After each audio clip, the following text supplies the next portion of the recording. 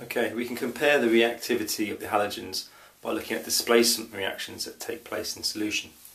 So a more reactive halogen would oxidise and displace a halide ion of a less reactive halogen.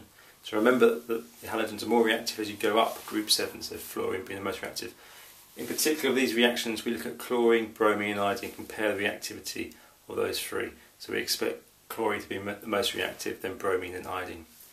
So what do we do then?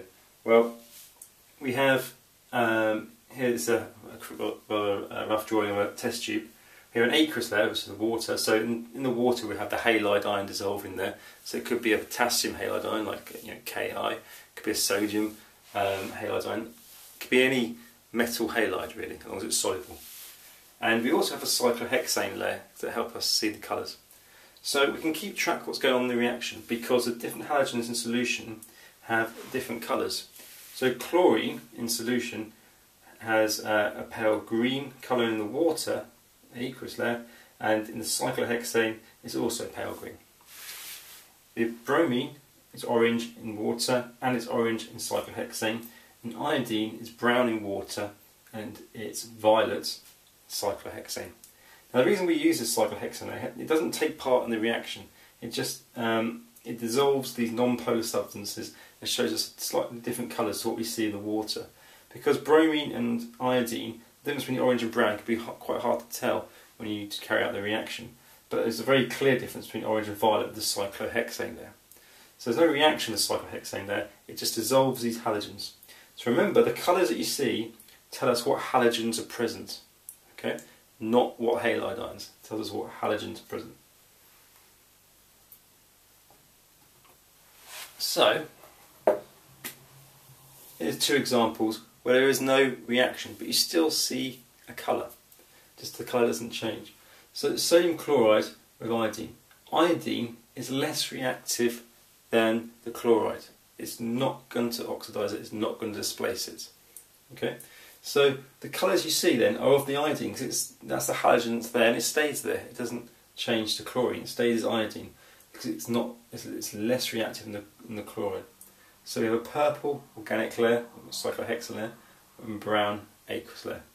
Same again, bromine is less reactive than chlorine. So the chlorine stays as the chloride, the bromine stays as bromine, and you see the bromine here in the cyclohexane and the water both orange. So we still see colours even though there's no reaction.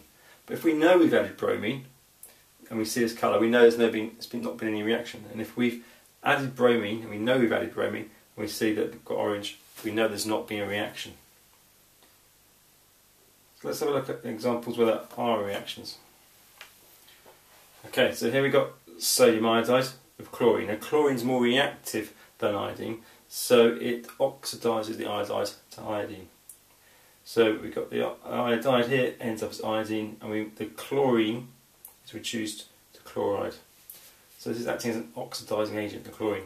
So because iodine's been produced, we see a purple layer on top, that's in the cyclohexane, and a brown layer in the water layer. The cyclohexane is always on top of the water.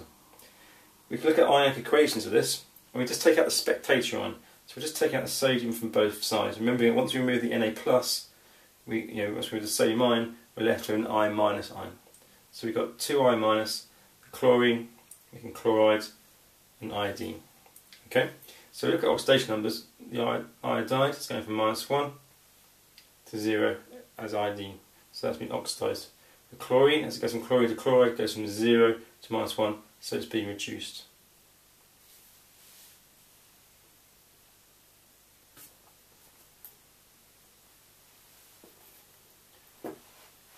Okay, here's another example. Here we've got potassium bromide. So it doesn't matter if it's potassium, sodium, the uh, metal ion is always a spectator ion in these reactions. So the potassium bromide reacts with the chlorine to make potassium chloride and bromine because chlorine is more reactive than bromine. So because we make bromine Br2, we get orange in both layers. Again, the ionic equation shows us with the bromide ions go to bromine from minus 1 to 0, so oxidised. The chlorine goes from uh, chlorine Cl2 to chloride, 0 to minus 1, so it's reduced.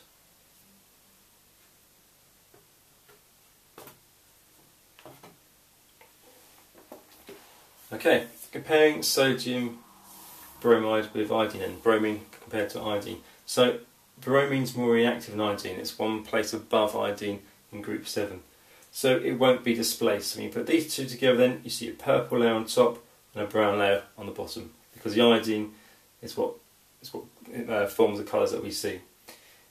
Here, the sodium iodide with bromine, the bromine's more reactive than the iodine, so displaces it, so we get sodium bromide and iodine.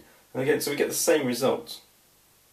Okay, so the way we can really know what's going on here is if we know what we've added. If we know we've added iodine and we get purple and brown, we know there's no, not been any reaction.